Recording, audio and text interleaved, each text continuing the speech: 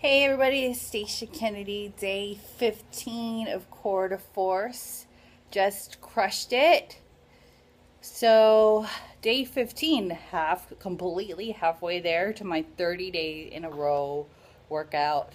Baby just started crying right at the bell. 47 minutes of dynamic strength.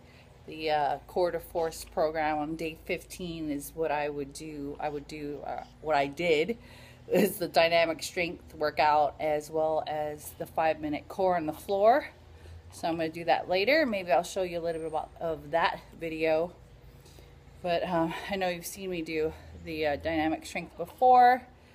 It's tough. It's a lot of push-ups, uh, a lot of girl push-ups for me, but I feel like I'm getting stronger and a few of the moves are getting easier. So it looks like this one is uh, hungry too. So I'm going to go feed her and do my core on the floor later. But uh, thanks for watching.